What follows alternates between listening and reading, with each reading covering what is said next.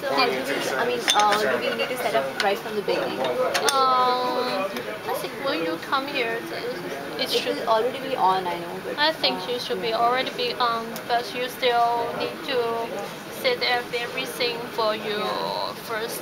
What I if someone first messes it up? experiment is okay. Just take picture. Oh no, I'm recording. Okay. Okay. Yeah. First. Mm, Is it a phone? yeah. Be, be, because for this fluorescence, you have two.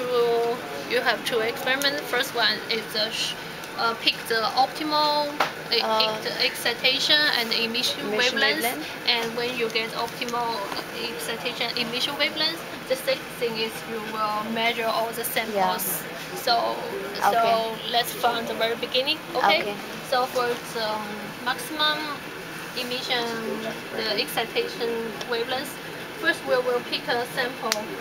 It's 1.00 times minus 5. Okay. Touch it too much. and then time. Okay, we will Close the make shutter. sure the shutter is closed before we open the lid. We will put it inside. Uh, this time we don't close the lid.